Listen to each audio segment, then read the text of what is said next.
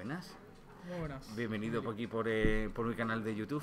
Eh, contigo quería tocar un tema eh, en base, tu experiencia como SEO pues pasa eh, trabajando con el grupo Prisa con bastante buenos resultados y eh, hablando contigo pues teníamos un tema que era que a veces el menos es más y eh, eso va muy relacionado el menos es más con el número de páginas indexadas y cómo se indexan estas en Google. Con lo cual, eh, en este vídeo que van a durar unos 6 minutos, 7 minutos aproximadamente, os vamos a compartir este pastilla de contenido concreta sobre menos es más en páginas indexadas y con vosotros os dejo Javier. Por favor.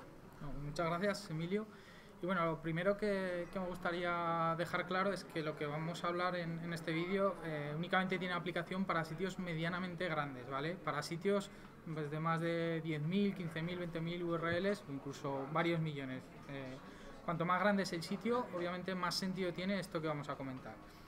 Y lo que vamos a comentar no es ni más ni menos que diferenciar claramente las páginas que tenemos en nuestro sitio indexadas versus las que tenemos posicionadas. Entiéndase que posicionadas es una métrica que puede variar un poco en función de nuestra de, de cómo la entendemos cada uno, en mi opinión, eh, o, o, o la, la, métrica que yo uso eh, para discernir una página posicionada de una que no lo está es si en el último mes al menos ha tenido una visita, ¿de acuerdo?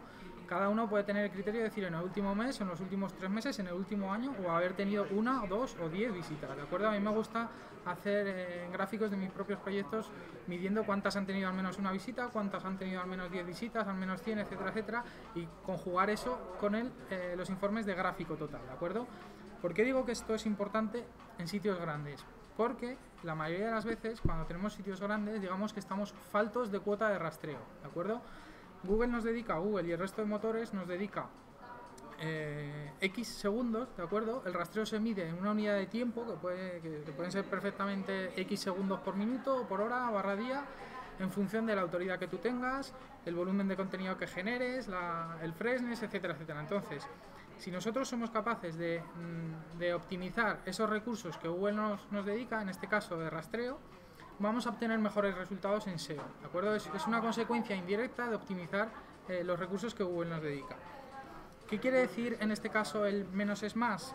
A veces, teniendo eh, 100.000 URLs indexadas, le estamos, digamos, obligando a Google a rastrear esas 100.000 URLs. Sin embargo, a lo mejor solo estamos teniendo tráfico con 20.000. ¿Por qué? Pues porque las otras 80.000 o tienen muy poco contenido, o son paginaciones, parámetros, URLs duplicadas, etcétera, etcétera. Sin embargo, Google tiene que invertir tiempo en rastrear eso. Si nuestra, si nuestra cuota de rastreo es menor de la que necesitaríamos, y eso pasa porque Google tiene mucho trabajo, se tiene que ir a rastrear la competencia, digamos que estamos eh, dejando una oportunidad de que Google nos descubra un contenido nuevo que sí que se podría posicionar en, en, en, detrimento de otros que ha perdido o ha invertido tiempo en rastrear y nunca los va a posicionar. Entonces, haciendo análisis de cuántas URLs tenemos eh, posicionadas, incluso por contenidos, o sea, por tipología de contenidos, si son artículos, si son fotos, si son vídeos, si son de una temática determinada, etcétera, etcétera, podemos optimizar y dedicar mm, eh, mejores recursos a hacer una mejor estructura o arquitectura de la información priorizando esos contenidos que nos están obteniendo, o sea, que nos están eh, devolviendo mejores resultados y dejando de lado, pues ya sea deshabilitando el rastro en el robots, con no index, con no follow, etcétera, etcétera, ya veríamos en cada caso cuál es la mejor configuración de, de presentar esos contenidos, vamos a obtener mejores resultados, ¿vale? ¿Qué, me, ¿Qué, mezcla de herramientas tú recomendarías para hacer el seguimiento? Eh, por, a ver, podemos tener un analytics, pues, vale, pero ¿cómo controla dentro de las miles de, de HTML que tenemos en una web, cuáles son los que nunca han tenido visita y ordenarlo todo en una herramienta fácil, sencilla de eh, son todas estas y cómo traspaso eso al, al, para decirle a Google que nos las rastree porque eso, si son miles de páginas pueden ser un trabajito curioso. Si son miles de páginas, eh, para que no rastree tenemos que usar el robot y en este caso, eh, a, a, no ser que estén categorizadas por directorios, es muy difícil eh, impedir su rastreo porque tendríamos que ir poniendo noticia a noticia, artículo a artículo. Pero sí que es cierto que desde desde las últimas actualizaciones de Google Panda podríamos mejorar los resultados con un mero no index, ¿de acuerdo? Mm, Simplemente vale es un digamos un cambio menor, o sea, lo ideal sería no permitir el rastreo para uh -huh. invertir esos recursos en que rastree cosas eh, más potencialmente posicionables, pero sí que es cierto que un no index en un contenido que no nos va a traer ningún tipo de beneficio está mejor hecho o mejor puesto que simplemente eh, tener esa URL indexada. Y herramientas, en mi caso, eh, me gusta mucho el Excel, o sea, exportar, exportar datos. Nosotros en Prisa usamos iCatalyst, la suite de Analytics de Adobe, y sí que podemos exportar mediante un plugin de Excel, se llama Report Builder, exportar URLs, filtros, eh, tablas dinámicas, etcétera, etcétera. En Analytics estoy seguro de que si, si no es mediante el API, con Spreadsheet, los nuevos plugins o plugins, etcétera, etcétera, se puede hacer cosas muy parecidas que, que estoy seguro de que, de que puede sacarse mucho, mucha chicha y cosas muy interesantes midiendo esto de URLs posicionadas más allá del el mero tráfico total. entonces, como resumen de lo que hemos estado hablando con, con Javier, es eh, hay que tener en cuenta que eh, podemos tener webs eh, sobredimensionadas, que en algunos casos, por ejemplo, índices de directorios, índices de, de, de paginados, donde vamos a mostrarle a Google los contenidos una y otra vez eh, eh, no tiene mucho sentido y sobre todo tampoco tiene sentido en, en aquellas páginas web que tienen muchos contenidos que no tienen ningún tipo de, de visita, contenidos prácticamente eh, sin ningún tipo de, interés que hace 90 días o hace 6 meses que no reciben visitas, que no reciben ningún tipo de posicionamiento, pues merece la pena decirle a Google no me lo indexe o no me lo rastrees para que el tiempo que esto es un, un, detalle técnico no fácil de manejar, pero hay que comprender que Google destina por cada página web un determinado tiempo de rastreo, el cual eh, si tú eres una página importante con mejores enlaces, pues obviamente tendrás un poco más de tiempo, pero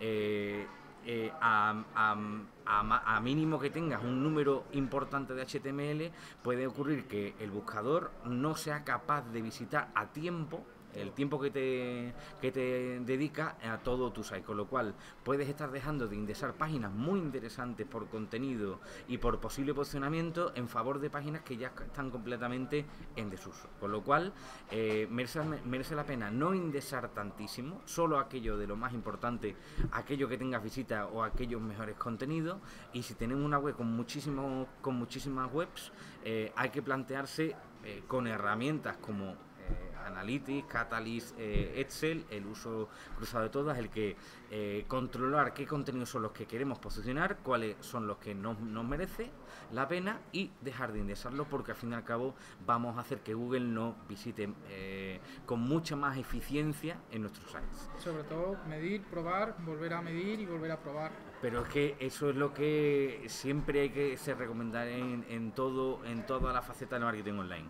Mucha medición, mucho análisis, mucha medición, mucho análisis y tomar decisiones para mejorar la eficiencia de nuestros esfuerzos y tener un mejor retorno de la inversión a nuestros esfuerzos y recursos de posicionamiento, de SEM, de, marketing en, redes sociales, lo que planteemos. Espero que el consejo que eh, nos ha compartido Javier eh, os haya parecido útil y por supuesto si os ha gustado compartir en redes sociales, un like, un me gusta más uno, os lo agradezco.